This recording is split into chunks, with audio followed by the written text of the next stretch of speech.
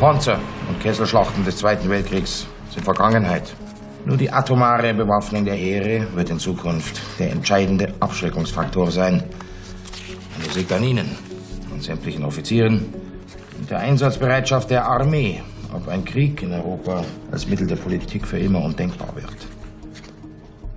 Dann sind wir wohl alle hoffnungslos aus der Zeit gefallen, Herr Minister. Ganz im Gegenteil, Herr Oberst. Ihre Aufgaben ändern sich. Das müssen wir alle lernen. Okay? Sagen Sie es ruhig den Offizieren.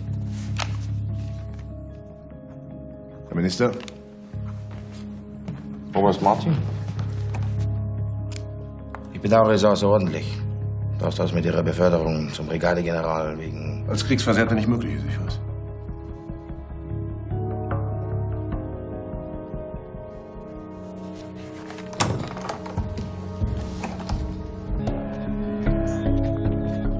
Bin kein Sympathisant Ihrer Zeitschrift.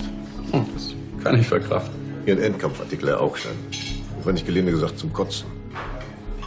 Auf diese Weise machen Sie keine seriöse Politik.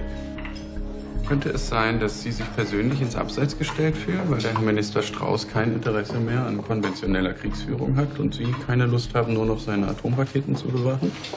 Meine persönlichen Motive tun ja nichts zur Sache. Sie könnten hier jetzt auch mit dem Stern sitzen oder der FAZ oder der Zeit oder der SZ, aber nun sitzen einmal wir beide hier zusammen. Ihre Zeitschrift ist das richtige Instrument. Wofür denn jetzt genau? Bei allem Respekt, darüber würde ich gerne mit jemandem reden, der die entsprechende Sachkompetenz aufweist. Jemandem ohne persönliche Befangenheit.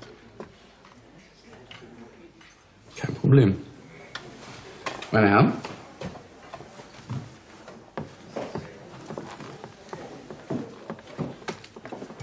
Schön, Sie zu sehen, Herr Haas.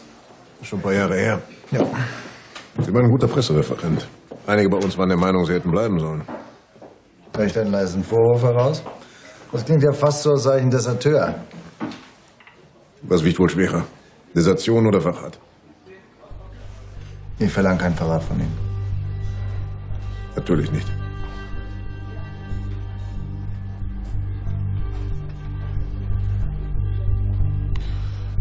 Strauß will Deutschland erstschlagfähig machen.